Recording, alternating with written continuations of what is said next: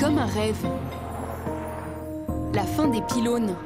Ne plus dépendre d'une ligne électrique pour se chauffer, cuisiner, éclairer. C'est en tout cas l'objectif de cette famille, avec ses 30 panneaux solaires installés cet été. Pendant 8 mois de l'année, euh, il y a assez d'ensoleillement pour, euh, voilà, pour qu'on soit autonome. Mais après, voilà, pendant 4 mois de l'année, euh, même s'il fait beau, euh, les jours sont pas assez longs. Euh, donc là, on va tirer un petit peu sur, euh, sur le réseau. Ce qui rend cette installation exemplaire, ce sont des batteries branchées aux panneaux qui permettent de stocker l'énergie produite. Situées dans ce local, elles sont garanties 30 ans. Par contre, elles multiplient par deux l'investissement. Total ici, 30 000 euros. C'est vrai que c'est un investissement supplémentaire au départ, mais qui va être rentabilisé euh, aussi, rapidement que si on avait fait une installation moindre avec uniquement des panneaux solaires, parce que ça permet de faire également beaucoup plus d'économies. On, va passer à peu près d'une facture de 2400 euros par an d'électricité à, à mon avis, à euh, 0 ou à 200 ou 300 euros. C'est vraiment euh, euh, voilà, l'é- l'écart qu'il va y avoir. Tout est connecté. La consommation de la maison s'observe en direct.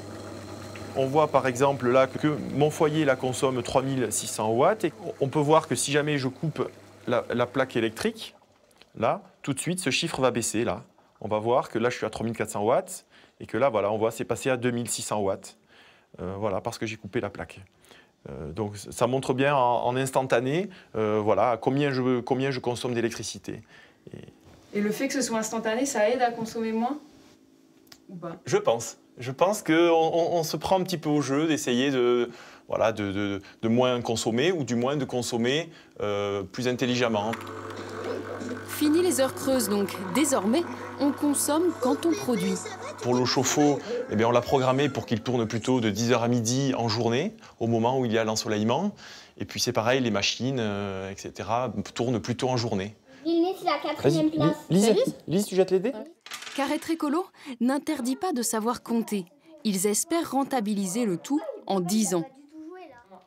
Pour eux, le solaire était la solution la plus efficace. On peut toujours se poser la question euh, des matériaux que ça comporte, etc. Mais on pense qu'à court terme, en tout cas aujourd'hui, et euh, vu les solutions qui sont proposées, il nous a semblé pertinent d'installer de, de, d'installer du photovoltaïque sur la maison. On tend vers l'autonomie, et que peut-être si un jour euh, on peut plus s'approvi- s'approvisionner en pétrole, eh bien, on pourra quand même se véhiculer. Si un jour il y a une coupure du réseau, eh bien, on pourra quand même se chauffer ou s'éclairer. Euh, voilà, c'est quand même voilà, c'est une démarche éthique qui est, qui est plaisante et on, est- on a l'impression d'œuvrer dans le bon sens pour, que, pour l'environnement. Là. Et cet engagement touche toutes les habitudes. Même la voiture roule désormais au solaire. Le soleil exactement. Pas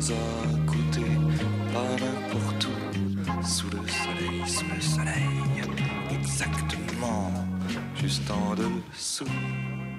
Là, il est à combien? Moi, je suis à 1, 2, 3, 4 cellules. Et là, en bas, t'es à combien? Essaie de centrer. 1, 2, 3, 4. Parfait. Elle est à la...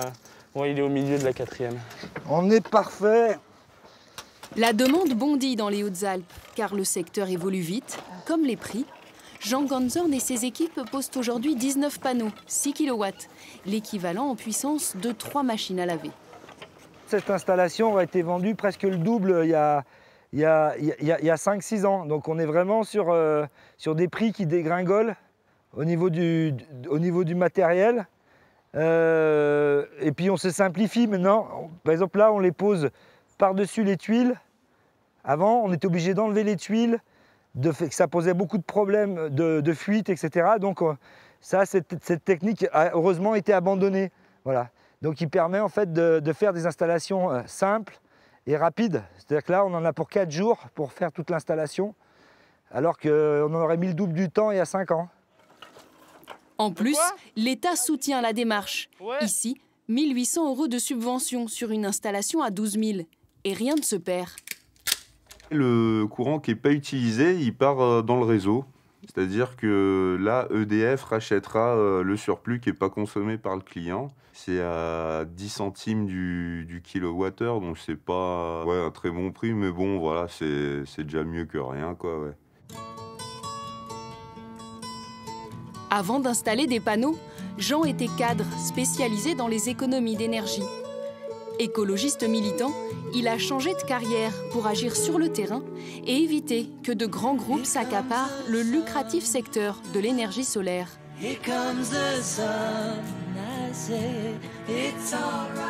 Mes employés, j'aurais appris euh, pas qu'à visser des boulons. Ils savent faire une installation de A à Z. C'est le but, c'est qu'ils montent en compétences. Et en plus, on développe, un, on va dire, un savoir-faire local. Afin de rendre le solaire plus accessible, Jean propose des formations aux particuliers. Il leur apprend à monter seuls leur premier kit d'autoconsommation, 700 euros pour 700 watts. Salut. Ça va? Oui, ça va. Ouais, bon. Bon, tu veux voir un petit peu euh, l'installation Ici, cela baisse Donc, chaque mois coup, la facture euh, d'une un dizaine d'euros. euh, sensiblement vers le l'est et l'autre vers le, vers le sud, à peu près. Bah là, ils sont petits oignons. En plus, tu, tu- ouais, tu les as bien orientés pour l'hiver. Ouais, bien sûr. Parce que là, tu as zéro Dans cette zone monument historique, Juan. Alvarez a dû monter son kit au sol. Le professionnel vient inspecter. C'est validé, à condition qu'aucune ombre ne vienne couvrir le panneau. Ouais, pas que ça- fasse d'ombrage. Hein. Non, bien sûr. Tu sais qu'un ombrage comme ça, ça te coupe, euh, ça te coupe le panneau. Parce que l'effet photovoltaïque, c'est- un- cumul. Toutes les cellules sont les unes derrière les autres. Et, et- et donc, euh, si tu en coupes une, bah, tu coupes tout. Tu coupes tout le circuit. D'accord. faut être un, un minimum bricoleur, mais pas, pas, pas, pas- pas énormément. hein. Moi, je veux dire, je ne suis pas du tout électricien. J'ai eu quelques petits tuyaux, et puis ça, ça, ça a marché. Mais c'est vrai que quand j'ai installé, euh, j'avais toujours l'incertitude. Hein. Puis bon, quand j'ai vu le compteur qui s'affichait, ah, super. En fait, le kit, euh, développer les kits en autoconso, c'était euh, c'était plus une action militante parce que financièrement, c'est un, rapport assez modique. Mais on se dit que les gens, une fois qu'ils ont, touché à ça, souvent, ils passent par exemple à, plus de panneaux. Euh, Il n'y a pas tout le monde qui a 7000 euros sur la, sur la table à mettre. Donc ça peut permettre aussi d'y aller en, en étapes. Donc on met deux panneaux, quatre panneaux, on a du temps, on le fait soi-même. Voilà, c'est pour, c'est pour démocratiser le- le système. Et ça marche Des jardins au toit des bâtiments agricoles, jusqu'à ces immenses champs de lumière. Ici, 300 hectares pour 110 000 panneaux. C'est que dans les Hautes-Alpes, grâce au froid, le photovoltaïque atteint son maximum de rentabilité. Un panneau photovoltaïque, c'est composé de différentes euh, couches, différentes matières qui réagissent à la lumière. Voilà. C'est-à-dire qu'on transforme finalement le- l'éclairage, les rayons du soleil, en électricité par une excitation qui se fait grâce à ces composants euh, internes. L'avantage qu'on a, nous, c'est qu'on est, on est en altitude, on n'est pas dans la vallée, donc on est grosso modo à 1000 mètres, et euh, ce qui fait qu'on a des températures qui sont beaucoup plus fraîches finalement que les centrales qui seraient plus basses. Et il faut savoir que voilà, pour qu'un panneau produise bien, plus la température est basse, évidemment avec l'ensoleillement qu'il faut, mais plus la température est basse et plus le panneau fournit de, l'électricité, de la tension. À sa mise en service en 2011, cette centrale était la plus grande de France, produisant la consommation de 10 000 foyers. Dans les Hautes-Alpes, de tels sites se multiplient. Ici, bientôt des panneaux solaires doivent remplacer la forêt. Seulement, des riverains et un poney club sont installés juste à la lisière. Vous êtes prêts pour un petit trot? La forêt, c'est un lieu essentiel pour ce moniteur. Ça serait une catastrophe quoi, si on coupait tous ces arbres. hein. Alors l'argumentaire de ceux qui veulent faire ce projet, c'est qu'effectivement tous ces arbres n'ont plus aucune valeur. Alors que si vous regardez bien autour de vous, il y a plein de nouveaux arbres qui émergent, notamment des érables, des chênes. Donc ouais, pour nous, ce serait vraiment euh, triste. C'est bien cette forêt, faudrait pas la détruire. Je trouve que ce serait dommage que- qu'elle disparaisse, qu'on coupe les arbres, parce que, euh, parce que moi j'aime bien y aller.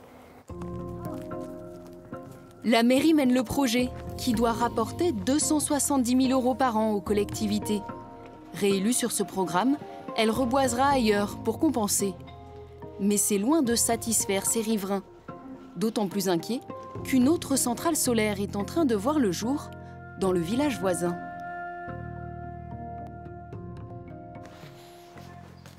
Voilà, là on arrive sur le, on arrive sur le chantier du futur champ photovoltaïque de Montmort.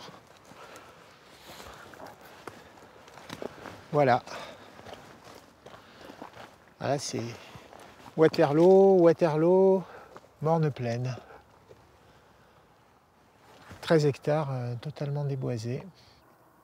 On n'est vraiment pas contre le photovoltaïque, contre les énergies renouvelables. Au contraire, on est vraiment militant. Mais euh, je pense qu'il y a des endroits bien plus appropriés. Et, c'est un non-sens finalement de, de- de remplacer une forêt par des panneaux photovoltaïques. Voilà donc le modèle à ne surtout pas suivre pour ses habitants. Ils rêvent d'autre chose que de grilles fermées. Par exemple, de ce qu'on appelle les centrales villageoises. Nous sommes dans le Kéra. Ici, l'énergie renouvelable est produite par une coopérative, Energil. Luc et Marie sont bénévoles et ont milité dès 2015 pour que le projet débute dans la vallée. Toutes les communes ont adhéré, à- ils ont- ils ont participé, ils ont donné de l'argent, donc ils ont pris des actions. Et puis on a demandé également à la population de soutenir l'opération. Et il y a eu très vite, en six mois, plus de 50 personnes qui ont financé et qui ont permis d'obtenir 80 000 euros. Ils installent alors les panneaux sur les bâtiments publics, les écoles, dans chaque village. L'électricité est revendue au réseau et les bénéfices permettent d'en financer de nouveaux.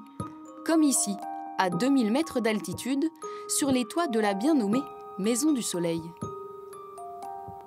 Et Saint-Véran, il y a deux sites de la commune. Il y a celui-là et puis il y a la bergerie aussi. Ouais, et on va essayer d'en d'en débloquer euh, un Ah ouais. ou deux de plus là rapidement, parce qu'on a des, des toits qui sont très bien exposés, Ouais. des toits de, de- de- Où, de par bâti- exemple, bâtiments euh agricoles, euh, éventuellement un centre de vacances. Là, il y, a, Ah il y a ouais. un très gros centre de vacances avec une énorme toiture, c'est bien. C'est c'est notre manière de fonctionner euh, dans les communes rurales. Après, nous, on a, il faut que les, il faut que les projets euh, soient, soient d'une envergure raisonnable, de manière à ce qu'ils soient bien appropriés par, le, le- par, le- par les habitants, par la population. Et en plus que ces, projets euh, fassent partie d'une société coopérative euh, Energil, euh, c'est parfait parce que les, gens ont l'impression d'avoir contribué à, ce, développement de la production d'énergie. La coopérative reste plus modeste qu'une grande centrale. Elle produit l'équivalent de la consommation d'une centaine de foyers. Mais dans le Kéra, comme au bord du lac de Serponçon, chez Émilie et Olivier, c'est pas à pas qu'on préfère avancer. Un changement, ça ne se fait pas du jour au, au- du jour au lendemain, mais on a l'impression d'œuvrer euh, à notre niveau, euh, avec les moyens qu'on a, euh, pour aller euh, vers euh, euh, une utilisation plus durable des ressources. Et tous l'ont compris dès l'installation du premier panneau. Même solaire, l'énergie reste chère et difficile à produire. Le premier geste écologique, c'est d'abord de réduire sa consommation.